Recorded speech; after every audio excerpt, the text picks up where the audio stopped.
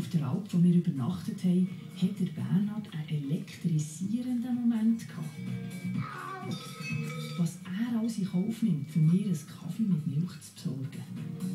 Es muss eine riesen Energie um sein da.